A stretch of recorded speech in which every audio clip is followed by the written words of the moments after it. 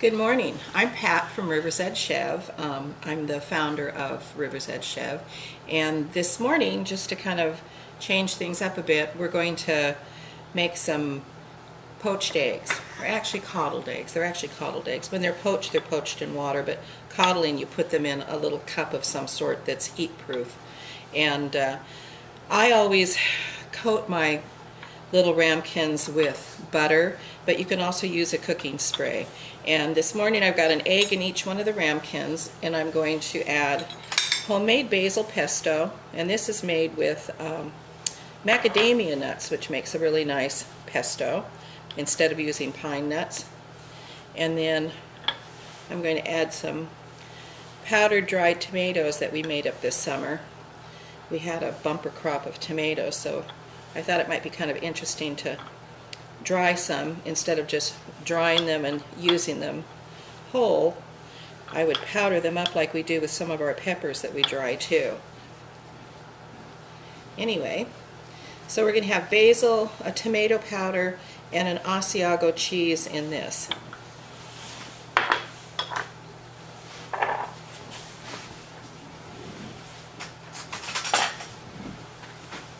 And this is the tomato powder here.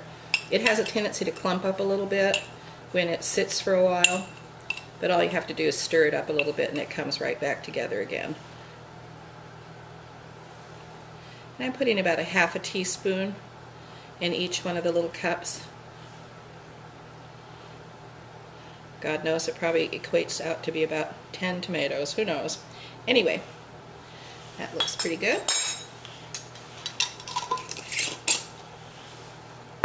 Now for the Asiago cheese, it's already shredded. Put a nice big pinch in there. With the, uh, the coddled eggs, you can put chopped ham, um, fresh herbs that are chopped up, just about anything.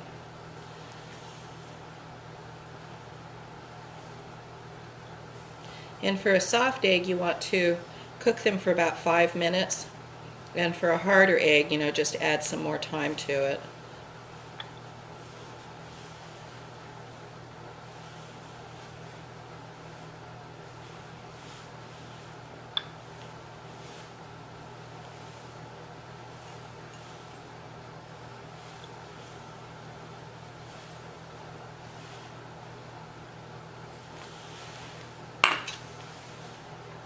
Okay. I got these little coddling cups on Amazon and I think that they're made from borosilicate glass which is supposed to be like chem grade glass so it's heat proof and all those things. Originally they came with a little stainless steel bail that went over the top but they didn't really work that way but it hasn't really been a problem because you can just use some um, silicone coated tongs or else a jar lifter to get them out of the boiling water. So I'm going to put these in the boiling water now and uh, get them started.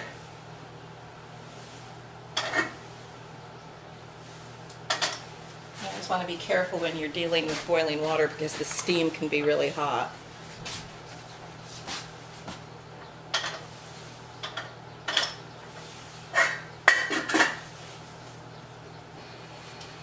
Okay, so we're going to set the timer for five minutes on that.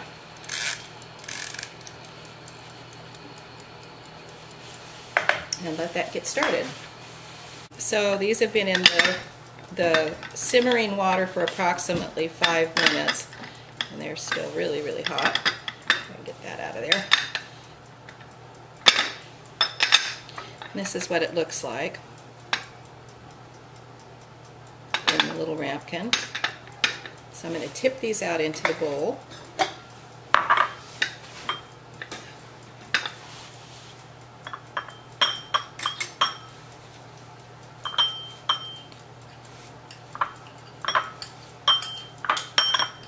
The yolk is nice and soft.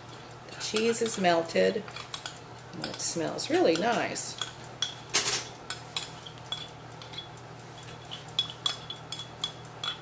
This is a nice recipe to use when you have company too. Um, you can also bake these in the oven, and uh, they turn out really nice that way too. And you bake them in an oven at three, about 325 to 350, um, and approximately 10 minutes in the oven. And you want to do a bain marie in the oven, where you put them in a, a oh, a sided like a 13 by 9 inch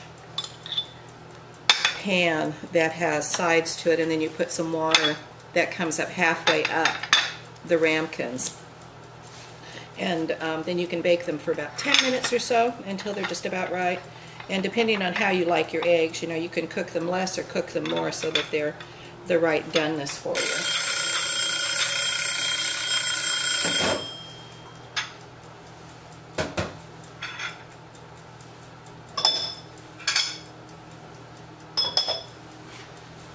I'm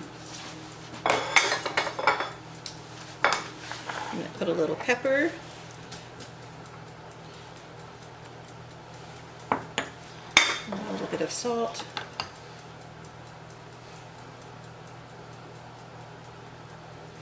And there you have it. Just like that. They're quite delicious. With some nice sourdough toast.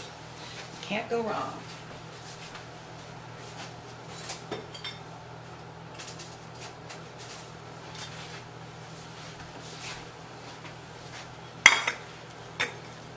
There you go. Breakfast. And all together it only takes about 10 minutes to do. Anyway, well thanks for watching this morning and we'll see you again soon. Bye-bye.